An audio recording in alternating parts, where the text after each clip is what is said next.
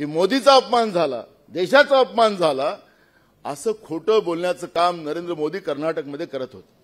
म्हणजे सांगायचं तात्पर्य मोदी म्हणजे देश नाही.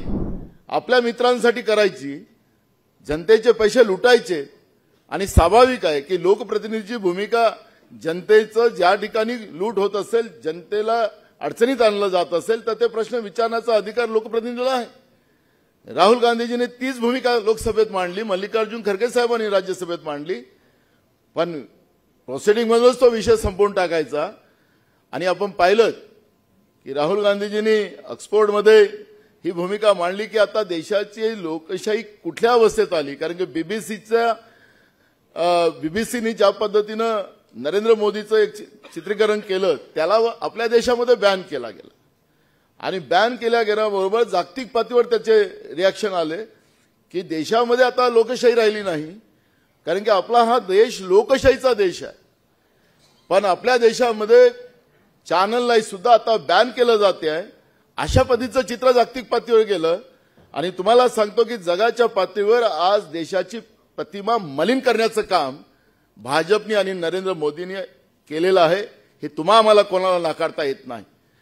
ती भूमिका त्यांच्या एका लेक्चरमध्ये त्यांनी मांडली आणि दोन दिवसापासून लोकसभेमध्ये राहुल गांधींनी माफी मागावी या पद्धतीचं एक नाटक करण्याचं काम भाजप करत आहे खरं तर माफी भाजपने मागितली पाहिजे. नरेंद्र मोदींनी मागितली पाहिजे. पण त्यांना लोकशाहीला आम्हीच लोकशाहीचे कारण की नरेंद्र मोदीचं नाव त्या ठिकाणी घेतलं म्हणजे मोदी म्हणजे देश. पाहिलं कर्नाटकमध्ये ते भाषण करत असताना आपण की मोदीचा अपमान झाला. देशाचा अपमान झाला असं खोटं बोलण्याचं काम नरेंद्र मोदी कर्नाटकमध्ये करत होते. म्हणजे सांगायचं तात्पर्य मोदी म्हणजे देश नाही या देशातली जनता. कारण की ज्यावेळेस पंडित जवाहरलाल नेहरूजींनी भारत माता की जय याचा उल्लेख त्यावेळेस केला तर त्यांनी त्याचं विश्लेषण केलं होतं की भारताची जी जनता आहे जनता जी आहे ती म्हणजे भारत. माता म्हणजे शक्ती. आणि त्याचा जय या देशाच्या जनतेचं भारत माता की जय याचा अर्थ त्या पद्धतीनं लावला होता. पण आज मोदी म्हणजे देश अशा पद्धतीचं विश्लेषण केलं जातं. आणि त्यांनी केलेलं म्हणजे देश विकून देत चालवणारी व्यवस्था या देशात झाली. संविधानिक व्यवस्था मोडणारी व्यवस्था झाली. आणि म्हणून मी तुम्हाला सांगतो की उद्या आम्हाला सत्तेत जायसाठी नाही. हे आपल्या डोक्यातून सगळेजण काढा. या देशाचं संविधान वाचवणं हे तुमचं आमचं सगळ्यांचं कर्तव्य आहे. या महाराष्ट्रातूनच मॅसेज देशामध्ये गेला पाहिजे हाच या सभेचा संकल्प आहे. आणि मला वाटतं की ज्या सभा जसं मगाशी अजितदादांनी सांगितलं की ह्या सभा मोठ्या व्हाव्यात त्यासाठी परिकाष्ठा कारण की आज मी तुम्हाला सांगतो की सगळ्या स्तरावर लोकांमध्ये भाजपच्या बद्दलची चीड आहे.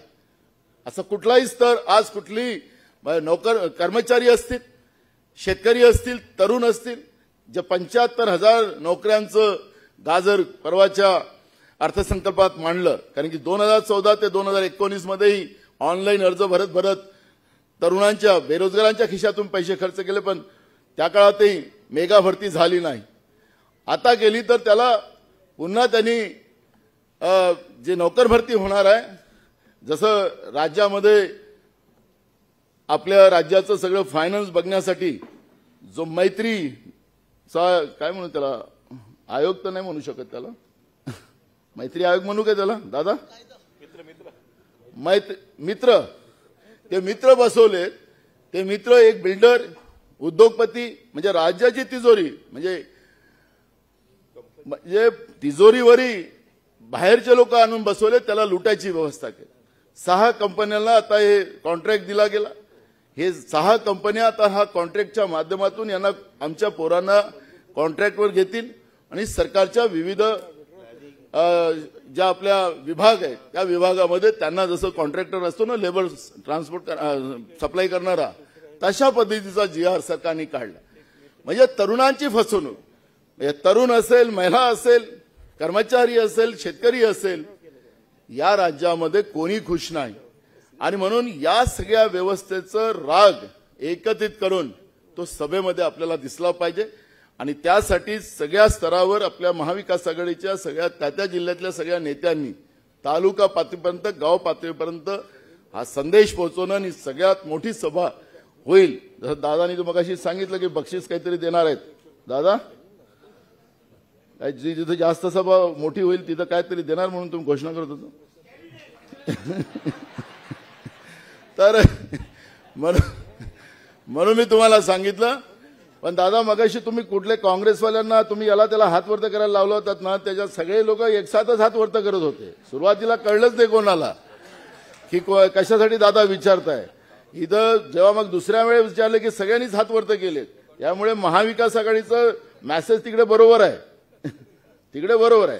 आता तुम्ही महाविकास आघाडीचं म्हणा तर सगळेच हात करतील. त्यामुळे नाही आता महाविकास आघाडी म्हणलं की सगळेच. महाविकास आघाडीचे आपण सगळे आहात का नाही आहेत. हात वरत करा बरं. बरं. असं आहे.